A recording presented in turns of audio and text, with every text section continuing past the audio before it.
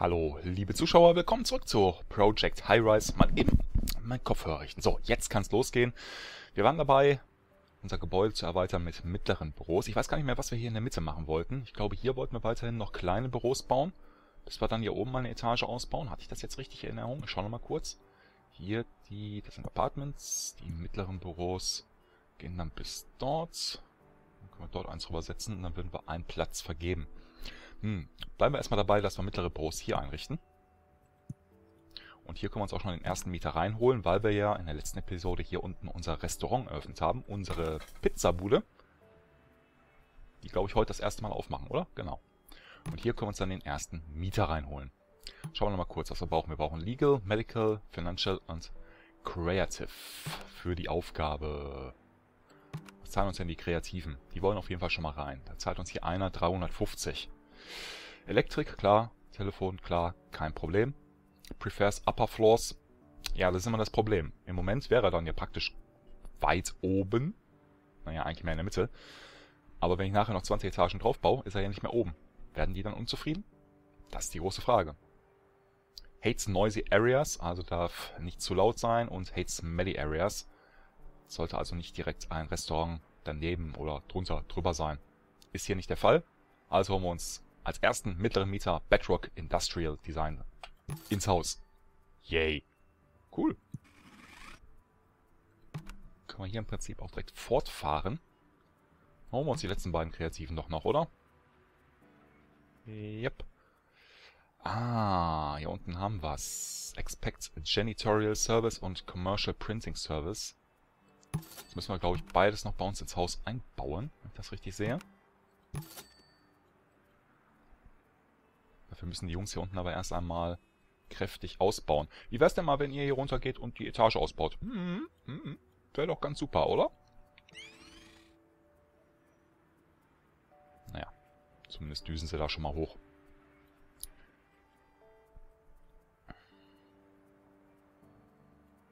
Mal ganz kurz schauen in den Anforderungen, die die haben wollen. Ähm, Not present, no demand. Das muss, das war, ja, wahrscheinlich müssen wir abwarten, bis die eingezogen sind. Zum Beispiel dieser Janitorial Service, den möchten sie auf jeden Fall haben, die neuen Mieter. Not present, no demand. Abwarten.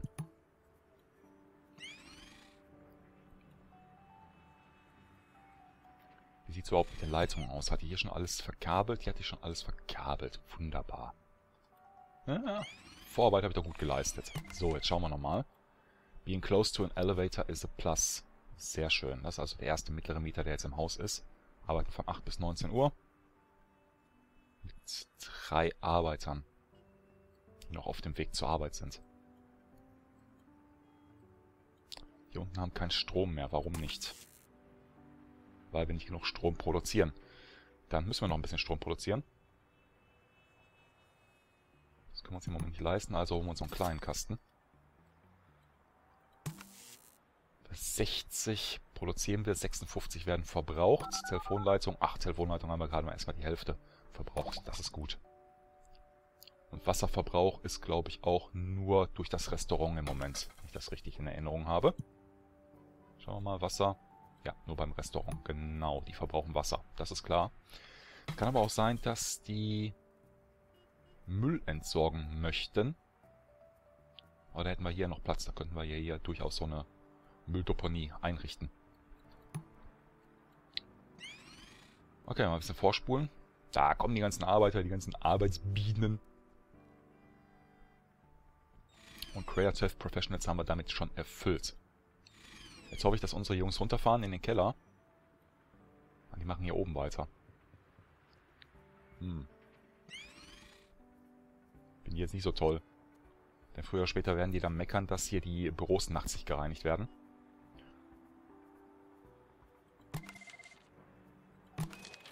Aber vielleicht meckern die noch nicht am ersten Tag, das wäre gut. Kohle habe ich ja sowieso keine mehr, um das einzurichten. Hier unten das Restaurant läuft ganz gut. Die machen gut Umsatz, wo sie gerade erstmal das Geschäft aufgemacht haben, 14 Uhr. Das läuft. Und so Restaurants, die produzieren richtig schön Bass. Hier unten die kleinen Restaurants, die scheinen auch zu laufen. Also im Moment sind wir mit unseren Restaurants, glaube ich, oder können die zufrieden sein mit dem, was sie hier fortfinden.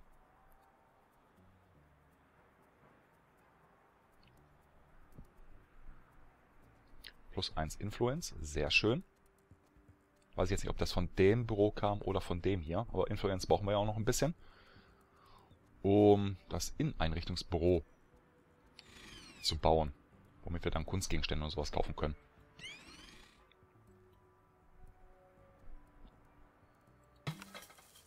Ja, die machen echt gut Geld. Also die können zufrieden sein. Müssen wir nur gleich darauf achten, ob die meckern, was den Müll angeht. Die haben noch nichts zu meckern hier. Sind in Ordnung. Smiley, Satisfaction, okay. Und was machen wir hier? Wollten wir hier schon mittlere Büros einrichten? Zwei passen da rein, dann hätten wir einen Raum frei, was nicht so schlimm wäre. Haben wir da gut Umsatz gemacht. Das gefällt mir sehr gut. Auf jeden Fall können wir hier oben ein Büro einsetzen. Ein mittleres. Und holen uns dann entweder ein Financial oder ein Legal rein. Medical können wir, glaube ich, noch nicht. Genau, Medical, weil die noch einen Drugstore brauchen. Den müssen wir dann auch noch unten in den Flur reinbauen, in die Lobby. Also ein Legal Office. Die wollen nicht, weil die mehr Restaurants haben möchten. Mehr mittlere Restaurants, mehr Restaurants, die Dinner servieren. Und mehr Cafés. Ja, die haben ja wieder Ansprüche. Lieber Herr Gesangsverein. Sieht bei den anderen ganz genauso aus. Financial Office. Die möchten das auch nicht. Die haben im Prinzip genau das gleiche. Die möchten noch einen Small Store dabei haben. Also müssen wir noch ein Medium Restaurant bauen, welches Dinner serviert. Kommt die Lobby weg, würde ich sagen.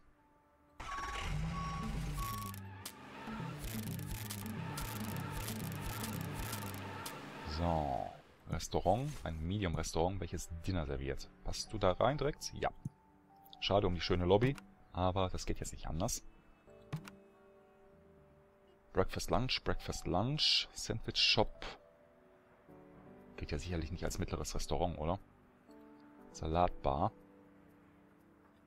Sollen wir da einen Pizzaladen reinbauen? Fastfood Restaurant. Lunch and Dinner. Holen wir uns mal den Fried Chicken rein. Weil vom Fried Chicken weiß ich, dass wir das noch nicht haben. Wir haben hier Hot Dog. Hier haben wir ein Café.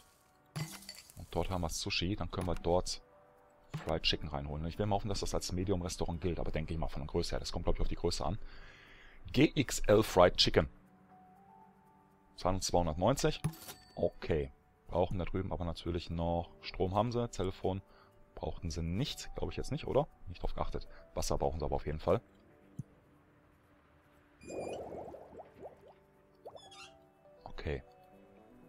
Haben wir da schon mal ein größeres Restaurant eingebaut. Wenn die noch einen Kaffee haben wollen, dann könnten wir doch hier praktisch direkt noch einen Kaffee reinbauen. Haben die irgendwas gesagt zum Müll? Ja. Could not dispose our trash yesterday. Das heißt, wir brauchen mehr Trash-Bins auf dem Flur. Was aber kein Problem ist. Wir erweitern unser Gebäude hier in die Richtung.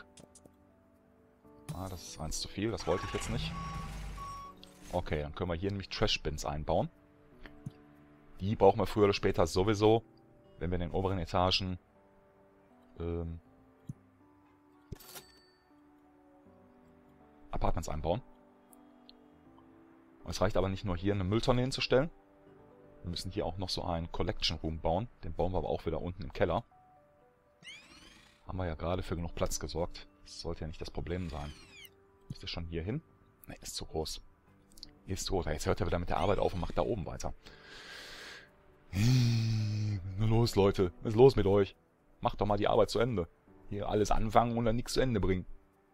Jetzt haben sie vergessen, hier am Anfang da einzubauen. Hm. Collection Room passt, glaube ich, schon rein, oder? Bam, Collection Room.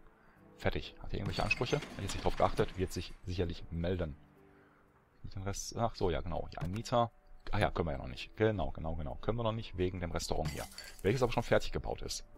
Sehr schön. Die äh, sind, glaube ich, sehr zufrieden. Ja, da laufen ja auch alle dran vorbei, die ins Gebäude kommen. Und ein kleines Café können wir dann hier auch noch einbauen. Das war doch der Bedarf. Café, oder? Genau. Kaffee and Breakfast. Kaffee and Lunch. Kaffee and Breakfast. Gehen wir nochmal auf Kaffee and Lunch oder schauen wir erstmal. Diese wären Lunch Dinner. Serves Lunch. Kaffee and Breakfast.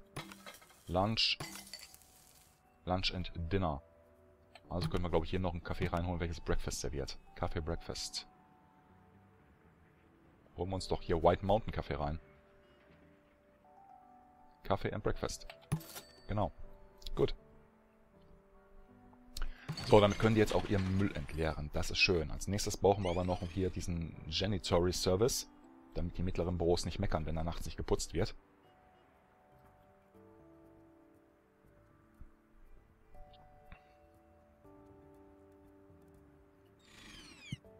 Kurz in den Anforderungen, genau hier. Janitorial Service, not present, but desired. Also reinhauen.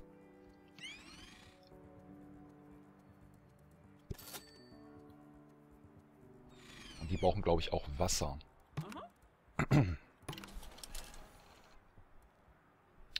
Mal kurz gucken. Nicht drauf geachtet. Ich meine, die brauchen Wasser, ja. Braucht Wasser. Okay, ja. Hier Courier Service. Ist auch nicht mehr ausreichend da. Habe ich gesehen. Kein Problem. Jetzt aber erst einmal Wasser verlegen. Können wir einfach hier die Leitung... Wie machen wir das am besten? Machen wir das so. Und so.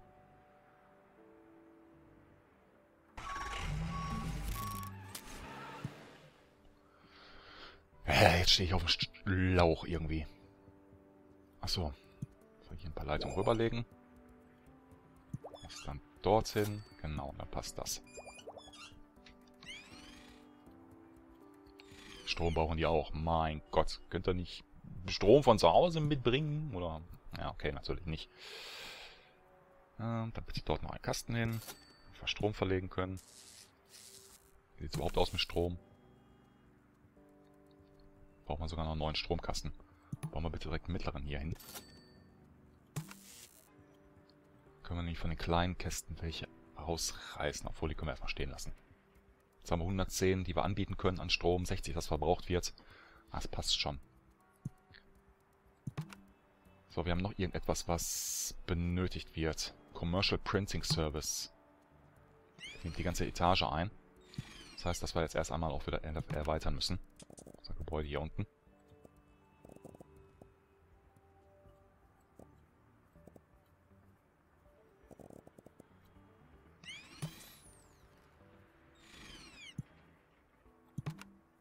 Der Printing Service hier. Passt. Dann müssen wir noch Kurierservice einbauen, wenn ich das jetzt richtig gesehen habe. Genau, der Kurierservice reicht nämlich nicht mehr aus und der Kopierservice auch nicht. Das irgendwie erweitern? Hier haben wir den Kopierservice. Kann man, glaube ich, nicht erweitern. Das wäre schön, wenn man jetzt irgendwie durch einen Knopf und entsprechender Geldausgabe das erweitern könnte. Aber das funktioniert leider nicht. So, hier oben könnte man dann noch den ersten Legal Office reinholen, oder? Das erste Legal Office. Die sind nämlich zufrieden damit, was angeboten wird. File Storage Services brauchen die auch noch. Na super. Die sind noch nicht zufrieden, weil die noch Stores haben möchten. Okay. Aber die können wir uns schon mal reinholen. Puh, so langsam wird es dann doch stressig. Die brauchen eine Telefonleitung hier unten. Naja gut, das macht natürlich Sinn. Die angerufen werden. Kommen Sie mal vorbei, hier äh, kopieren für mich bitte. Ah, das war jetzt Stromleitung. Mhm. Ja, aber Strom brauchen die bestimmt auch. Hier stimmt nichts dagegen.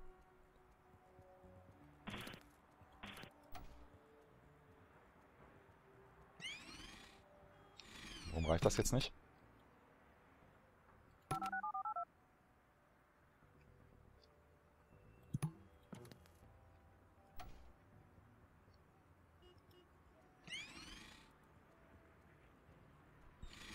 Hm, müsste doch reichen. Stehe ich jetzt wieder auf dem Schlauch? We can't function without Telefonline. Ja. Deswegen habe ich eine Telefonline gebaut.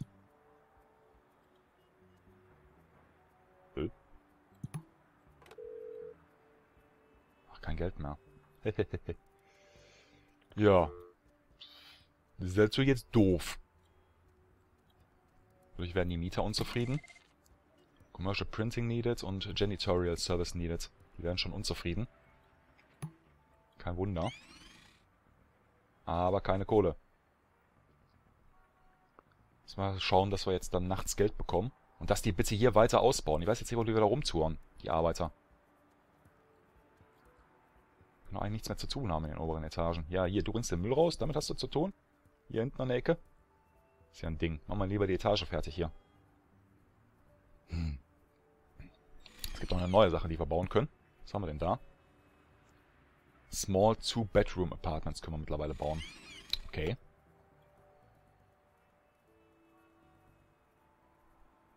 Den Tagesumbruch abwarten und dann bitte... Achso, die machen schon sauber hier oben in den Büros. Ich habe mich gerade gefragt, was sind das für Leute, die hier rumrennen? Alles okay. Ist erlaubt.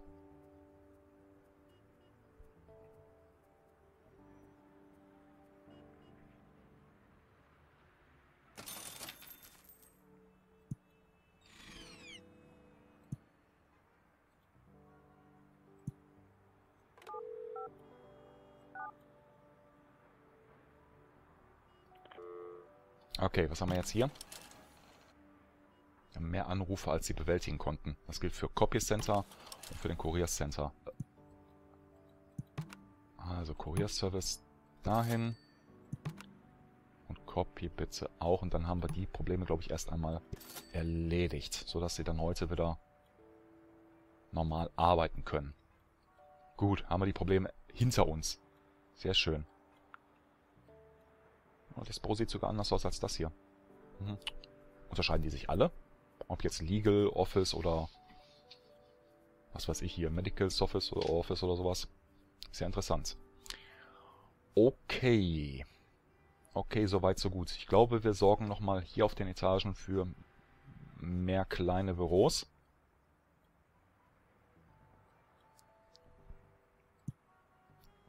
Ja, klingt nach einem Plan. Einfach die Etagen erstmal gefüllt bekommen. Und noch ein bisschen zusätzliches Geld reinbekommen. Die kleinen Büros, die sorgen ja doch stetig für Kohle bei, ja, bei niedrigen Ansprüchen, möchte ich mal sagen. Kurz ausschreiben hier. Legal Services, äh, Creative Services. Aber Legal Service kann man schon mal reinholen. Passt. Passt. Stromleitung und Telefonleitung sollten im Moment kein Problem sein. Accounting Office können wir reinholen.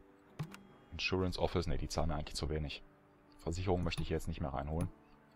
Die zahlen mir ein wenig zu wenig.